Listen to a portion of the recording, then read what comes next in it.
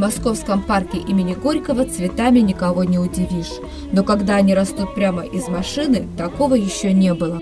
Дизайнер Александр Колов так выразил идею своей композиции. Для того, чтобы поднять у людей настроение, показать, что вот городские жители приехали на дачу и там решили остаться. То есть достаточно давно приехали, э, так давно, что вот из машины сделали уже клумбу.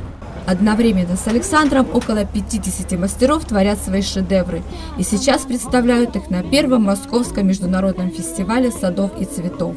Его организаторы уже давно хотели объединить российских дизайнеров и показать их достижения. Наши профессионалы завоевывают награды давно уже за рубежом. Но почему-то мы, понимаете, мы привыкли, что мы вначале мы должны уехать туда, чтобы потом стать известными здесь.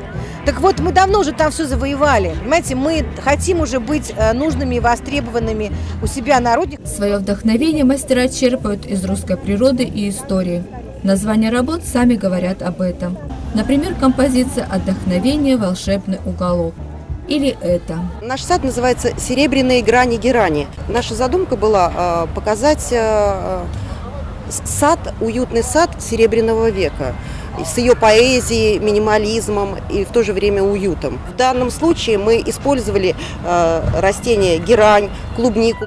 Здесь основной акцент на тополе серебристом Невея. Ромашки и злаки подчеркивают изысканность, а томик стихов на столе завершает задуманную автором композицию. Большое внимание участники фестиваля уделяют экологии. Так авторы сада Black and White вымастили дорожки новым материалом тировей.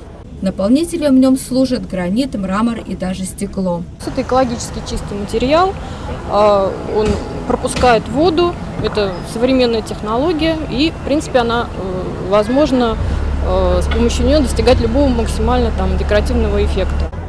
Для приусадебных участков и городских садов участники предлагают много решений и архитектурных, и дизайнерских. Я просто ходила и любовалась.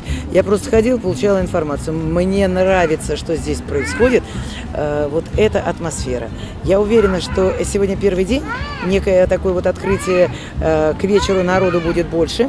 Я уверена, что к концу вот этого фестиваля здесь будет очень огромное количество людей, потому что в этом есть э, и изыск, и наотмашь, и широта русской души.